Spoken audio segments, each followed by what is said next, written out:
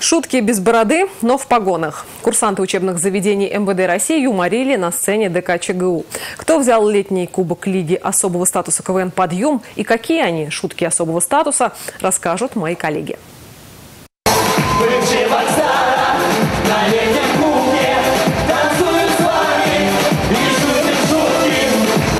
особого статуса и с особым взглядом из-под фуражки. Здесь даже названия команд недвусмысленно намекают на область, в которой специализируются команды. Московские ребята здесь по собственному желанию. У нижегородских – смягчающие обстоятельства. Красноярских можно найти по хэштегу 02 и по нему же информацию про наркотики.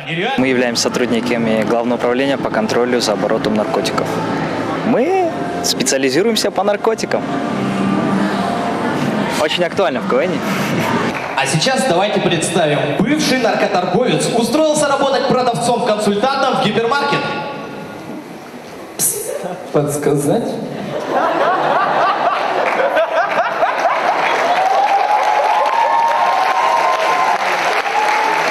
Да, пожалуйста, можешь? Тише, тише, тише. Чего орешь?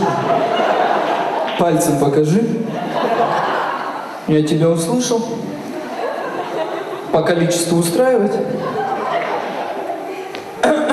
Э, мужик, ты что, яйца же, ну, блин! Чебоксары смеются над полицейским юмором пятый год. На юбилейный летний кубок приехали шутить шесть команд. Впервые на юморную волну настроились КВНщики Донецка.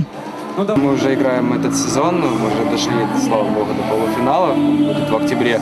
А Сейчас летний кубок, мы развлекаемся, веселимся, так сказать, на одной волне с, российским, с российской полицией. Обычная летняя донецкая ночь.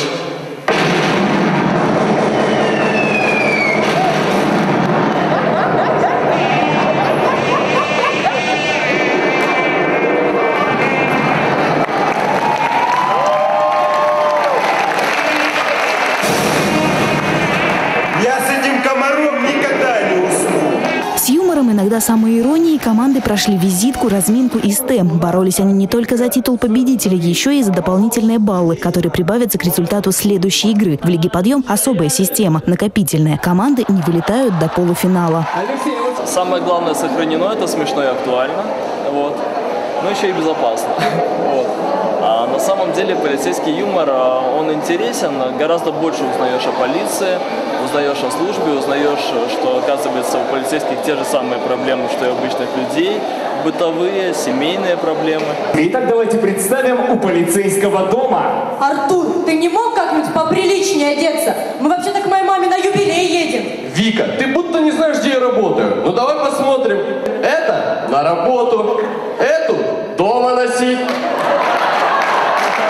Может, что с этой, а эту на выборы одену. Главный трофей игры достался сразу двум командам. Большое будущее Ростовского юридического института МВД России и Алексей Сергеевич Омской юридической академии МВД России. Ирина Волкова, Валерий Резюков. Республика.